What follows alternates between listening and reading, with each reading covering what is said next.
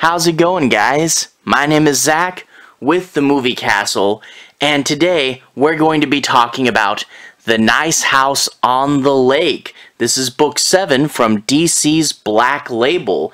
Uh, this is the first one back from the break. Uh, the first six issues of Nice House on the Lake were put out month after month, but then we got to a nice midpoint. This is the point where the graphic novels will break into, and overall, a good place to uh, to rest for a few months. So the book's been off for a few months, but it's coming back, and we're gonna have the last six issues come out and see how this whole thing wraps up. For those of you guys who have uh, who don't quite remember what was happening, uh, basically towards the end of the last plot arc, the uh, group finally goes to the other house on the lake.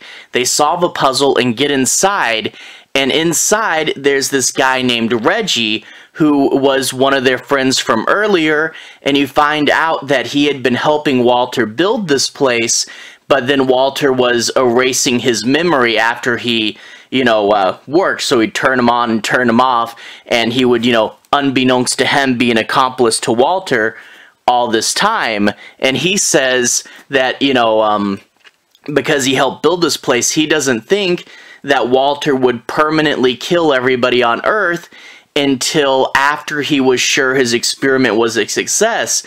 So as long as he's not sure that the experiment's working, he thinks the uh, the damage to the Earth can be undone, or maybe it never even happened. So they still have a chance. But then, of course, Walter shows up, and Walter erased everybody's memory, put Reggie at the nice house on the lake with the rest of them, and then uh, they wake up and it's like a whole new continuity. Now, at first I was a little worried doing this whole sort of new continuity thing. So many times when books have a fire going, whenever they try to mess with the fire and change what the book's about a little bit, sometimes it doesn't work. Uh, but with this one, it does. You know, they were getting pretty far, and I was worried that the last six issues would be totally different than the rest. Uh, but they do play with a few things that make you go, huh, if this is what's going on now, what's going to happen, you know? And there are a few other elements still up in the air from the pl first plot arc, and it's this really cool reinvention. So, yeah, the, the fire for this series is still going, but this is a very unique half, and I do like with it being a unique half, uh, that that's like the perfect place to put this break, you know? Uh, if the story was still going one after the other, then having that break, it'd be like, oh no, you killed the momentum, but it's supposed to be a little jarring. It's supposed to be like, okay, wait, things are different now. And yeah, a good place for a break. Uh, let's take a closer look at this cover. We get the symbols, and if I remind you about the symbols, uh, this is the seventh symbol, but we actually skipped over the symbol for the rider, and uh, there was, for Reggie, an octagon symbol, uh, but that's disappeared now. I was hoping it would stay on the cover, but it's gone. So we'll eventually at some point have to jump back to the rider, and then I suspect the final issue will be some sort of Walter symbol, maybe? Uh, but anyway, there's the uh, the lady associated with the with the symbol, the uh, the accountant, I believe, and she's going to the fridge, and it looks like you know an old school like flash photography in the middle of the night, and there's all these rats there, and her razor because she wanted to kill herself in the last continuity, but that's a little bit different this time, and we'll probably get into that in a second. But yeah, I love how creepy the Nice House by the Lake covers are, and they're all these portrait covers that work really nice together, and yeah, gotta love it as always. Uh, flip it open to the credits really quick. The double page spread is still here, and it still looks to be the same. Uh, but we can see on the bottom, James Tynion IV and Alvaro Martinez Bueno uh, are the writer and artist respectively. He also did the cover, and they're both listed as creators of the book. So that's pretty cool. And also, before we get into the plot, I want to show you something in the very back of the book. And they finally gave us a symbol and name guide. There's lots of characters in this book, and I'm so glad they gave us a little guide to what each of their symbols were. Uh, now, Walter doesn't have his symbol on there. I was hoping he would. Um, and also Reggie's missing because this is only the uh, the initial cast. But uh, there's our character on the bottom for this issue, the accountant Molly Reynolds. So this is a really nice resource. I really love this, and I'm glad they gave us a little refresher as to who's who in this book and what all their symbols mean. And also, yeah, without having Reggie here, he's also an artist. Is his symbol still the hexagon, or do we have do we have two painters palettes? I, would be curious to know. I think his symbol's still the hexagon because two people can't have the same symbol, right? Uh, but anyway, without further ado, let's go ahead and jump into the book. Now, I'm not going to be doing any major spoilers, but I do want to say my piece on a few plot points and make sure you guys have a basic understanding as to what this issue is about. So let's go ahead and dive right in. I'll analyze the book, but I'll be avoiding the spoilers at the end. We open up with the accountant, and she's wandering through the woods. She's got pink hair and a coat, and of course, the fire's still there, but she's telling a story about how, uh, uh, what is it? Uh, their names, uh, let me flip to the back. Veronica, yes, that's her name. Uh, Veronica and Nora, who was uh, Norm at the time, were dating and they were constantly fighting and breaking up.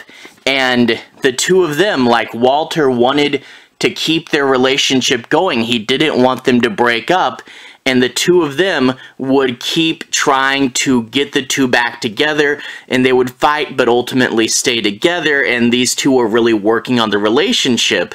Now, that's when Molly goes up to Walter and says, hey, I, I really like you, it's too bad I can't be with you. And then later on, back in the fire, um, Molly says that later Walter would contact her and say, hey, maybe we can actually be together.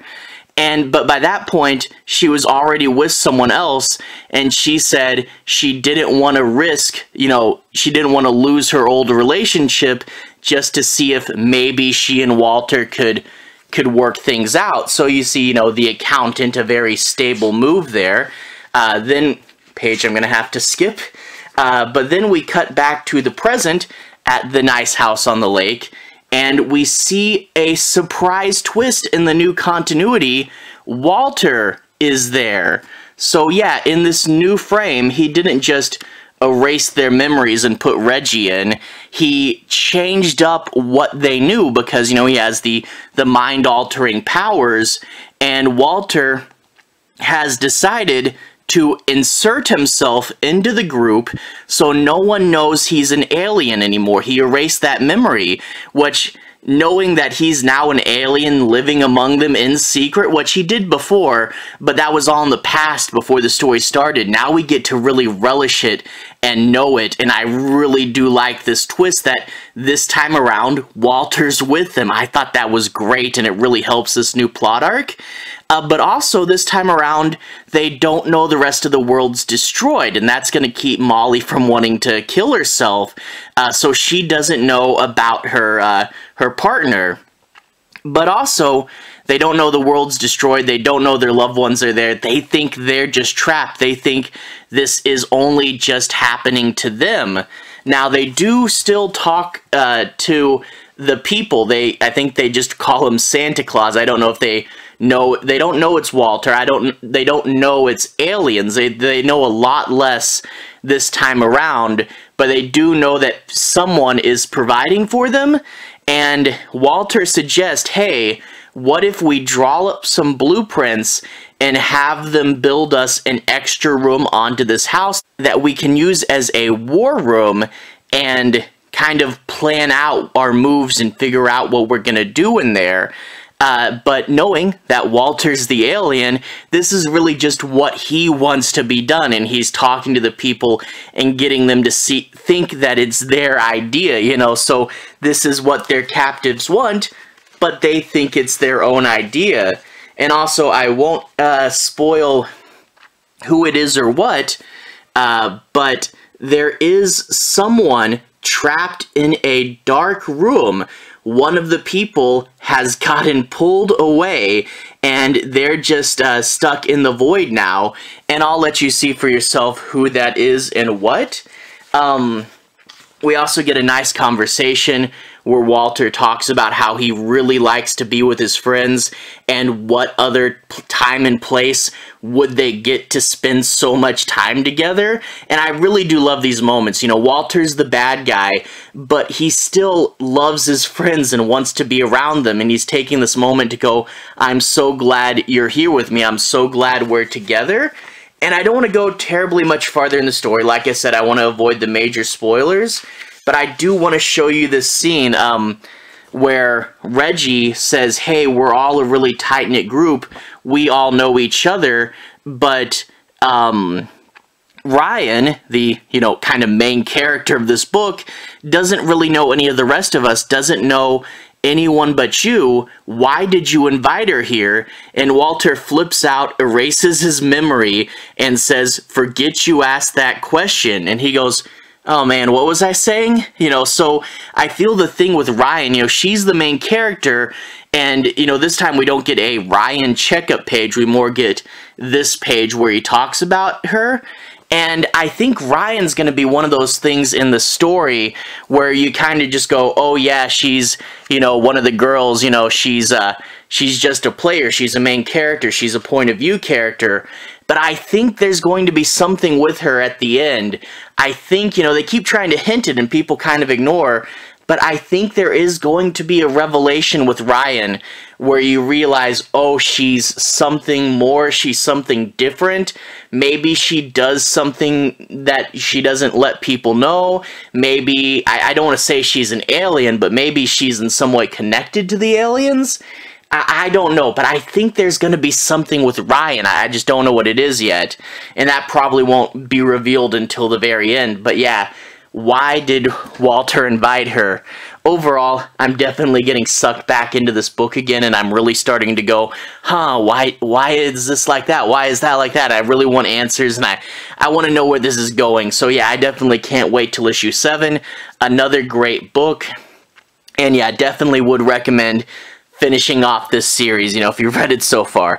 Uh, but anyway, to everyone who's watched so far, thank you for watching. To everyone who's liked and subscribed, thank you. You really are helping the channel out. I'll leave a relevant playlist on the bottom. This should be my Nice House on the Lake playlist. If you want to see me talk about the uh, past issues of this series, I have a review for all the past books, number 1 through 6, and you can go there and uh, find those reviews as well. Anyway, have a good day. I'll see you guys again very, very soon. Relevant playlist on the bottom. Have a good day now.